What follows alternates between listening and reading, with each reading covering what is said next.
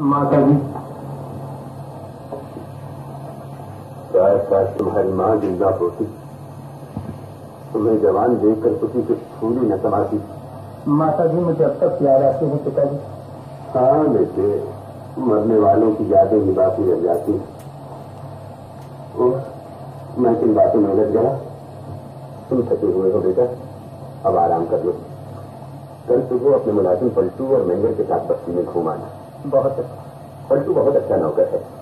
ईमानदार भी और वफादार भी।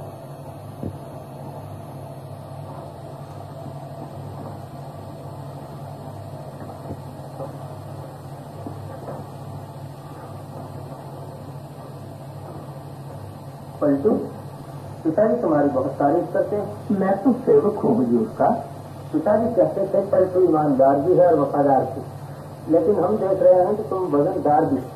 कितने बच्चे तुम्हारे सरकार, अभी तो मैं खुद बच्चा हूँ। बाली उमरिया है। नई नई शादी की है।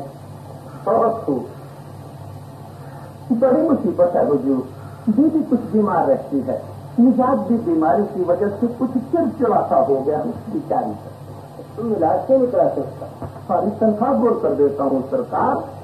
मैं तो बेचारी के लिए सुरमान मिट्टी कन्नी टोपी भी नहीं ला सकता। ले लो। उसके लिए सब कुछ लाओ और उसका इलाज भी कराओ बड़े दयालु है सरकार। मैनेजर मक्खन तो हर महीने मेरी तनख्वाह में से मिठाई के पैसे काट लेता। मक्खन अच्छा आदमी नहीं ये हम भी जानते हैं। बड़ा बड़ी किस्म का आदमी है ये मक्खन। हम उसकी सबसे निकाल देंगे। अच्छा तुम जाओ आराम करो। आपके जूते उतार दो। नहीं पलटू हम किसी इंसान से ऐसी खिदमत नहीं लेते।